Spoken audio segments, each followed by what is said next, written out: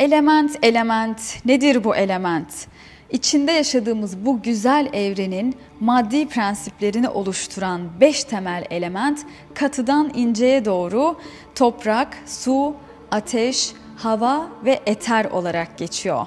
Biz de bu seride 5 element, 5 çalışma yapacağız ve her bir çalışmayı toplam 7 gün uygulayacağız. Sonra bir sonraki çalışmaya geçeceğiz.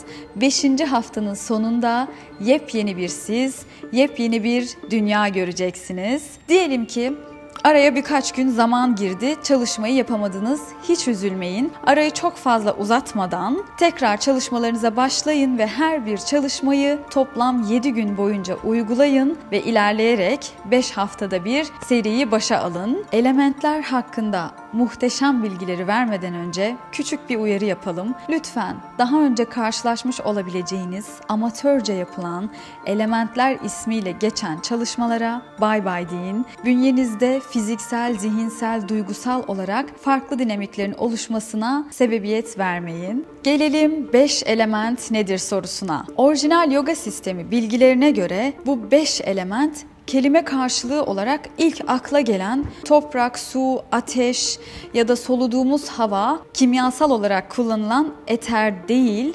Bu beş temel maddenin ince enerjisel titreşimlerini oluşturan 5 temel element olarak geçiyor. İnsan bedeni de evrenin bir kopyası olduğu için bu 5 temel element insan bedeninde, insan bünyesinde çok etkili rol oynuyor. Şimdi harika bir bilgi geliyor. Her bir elementin bağlantılı olduğu bir çakra enerji merkezi var.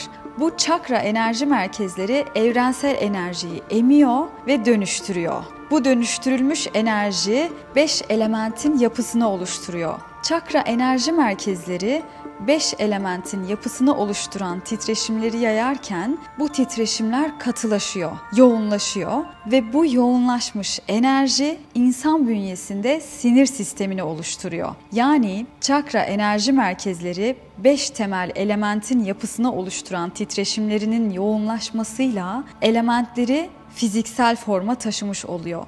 Bu inanılmaz bir bilgi. Orijinal yoga sisteminin farkıyla verilen bir bilgi. Biz de 5 çalışma boyunca 5 elementin ilgili olduğu çakra enerji merkezlerini aktive eden teknikleri uygulayacağız. Birinci çalışmada toprak elementi en alt enerji merkezi olan kök çakra yani Muladhara çakrayı aktive eden teknikleri uygulayacağız. Toprak elementinin biçimi dördül bir biçimdir ve toprak elementinin dengeli olduğu bir insan ayaklarının ayaklarının yere sağlam bastığını hisseder, yer enerjisiyle bağlantı kurar, kendini bedeninin içerisinde rahat hisseder, kendine ve dünyaya karşı güven duyar, sabırlı, azimli ve sağlam bir zihne sahip olur. Toprak akışının yavaşlaması atalet ve ağırlık çökmesine sebep olur. Biz de birinci çalışmada bedenin karşı koyduğu atalet olarak gösterdiği bu direncin üstesinden geleceğiz ve neşeli bir şekilde sabah erken kalkacağız. Orijinal yoga sistemini uygulayacağız. Tembellikle, ataletle daha iyi bir şekilde başa çıkabileceğiz ve toprak elementini becerikli bir şekilde kullanmayı öğreneceğiz. Bu çalışmayı tam 7 gün uyguladıktan sonra ikinci çalışmaya geçeceğiz. Su elementini aktive eden pelvis, svadhisthana çakra ile bağlantılı olan teknikleri uygulayacağız. Su elementi akışkan ve arındırıcıdır ve biçimi hilal şeklindedir. Su elementi tıpkı doğada da olduğu gibi engellerin çevresinden engel tanımadan kolaylıkla akabiliyor olmasıdır ve aynı zamanda insan bünyesindeki etkisi de negatif duygu düşünce durumlarına direnç göstermeden onların üstesinden rahatlıkla başa çıkabilmeyi sağlamasıdır. Su elementinin rahatlıkla aktığı bir insan bünyesinde insan ihtiyaçların ve bağlılıkların köleliğinden kurtulur ve cinsel ihtiyaçların yükü altında ezilmez. Biz de bu çalışmada su elementini aktive eden teknikleri uygulayarak engellerin çevresinden rahatlıkla akıp geçeceğiz.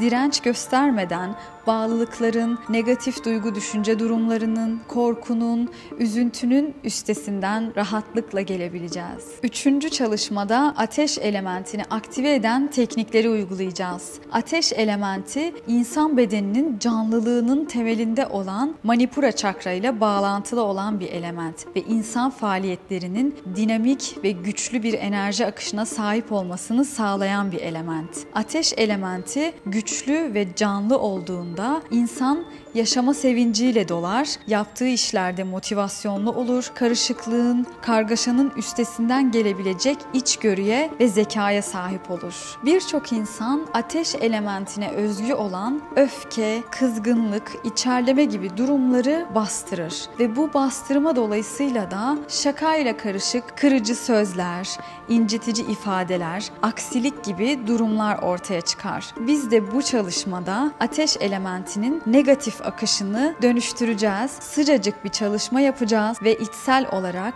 içtenlik, yumuşaklık, sıcaklık ve yardımseverlik duygularını, özelliklerini geliştireceğiz. 21. günün sonunda Dördüncü çalışmaya geleceğiz. Hava elementini aktive eden teknikleri uygulayacağız. Hava elementinin biçimi altıgen şeklindedir ve hava elementi anahata çakra, göğüs çakra ile bağlantılı olan bir elementtir. Hava elementi doğada da olduğu gibi hızı ve hareketi temsil eder. İnsan bünyesinde hava akışı yavaşladığı zaman insan fiziksel ve zihinsel olarak katılaşmaya başlar. Yeni fikirlere, yeni düşüncelere kendisini kapatır. Doğamız Etrafımıza bakalım. Dengeli ve uyumlu bir şekilde esen rüzgar insan bünyesinde rahatlama ve dengelenme, arınma hislerini uyandırır. Hava elementinin burada doğada da olduğu gibi arındırıcı etkisini görebilirsiniz. Fakat rüzgar yavaş estiğinde, sıcaklık olduğu zaman insan bünyesinde ağırlaşma, tembelleşme söz konusu olur ve rüzgar sert bir şekilde, hızlı bir şekilde estiğinde de duygu ve düşünceler karışır. Tıpkı doğada da olduğu gibi hava elementi insan bünyesinde de yoğun etkilere sahip olan bir element. Ve geldik son element, son çalışmaya. Eter elementi en süptil, en ince element ve bu elementin biçimi daire şeklinde. Eter elementi Vishuddha çakra, boyun çakra ile bağlantılı olan bir element. Uyum, hareketsizlik ve dengeyi temsil eden bir element ama aynı zamanda diğer elementlerin hareketliliğini sağlayan, hareketliliğine imkan tanıyan bir zemin aslında. Eter elementi zihnin hareketsizlik, dinginlik ve huzur niteliklerini temsil eder. Eter alanı alanı daraldığı zaman birey kendisini sıkışmış, yer kalmamış, hareket etmeye yer bulamadığı bir şekilde, içe kapanmış bir şekilde hisseder. Biz de bu çalışmada eter alanını enerjinin rahatça akabilmesi için genişleteceğiz ve huzur ve dinginlik içerisinde kalacağız. Hislerimizi, ifadelerimizi özgürce, rahatlıkla ifade edebileceğiz. Tüm bu eşsiz bilgileri ve 5 çalışma boyunca uygulayacağımız muhteşem duruşları Büyük Üstad Akif Manaf'ın ekranda gördüğünüz bu üç eserinden faydalanarak sizler için hazırladık. Siz de çok daha fazlasını öğrenmek isterseniz Yoga Marketinden bu eserlere erişebilirsiniz. Sıkı durun, matınıza geçin. Orijinal yoga sistemiyle Elementler serisi başlıyor.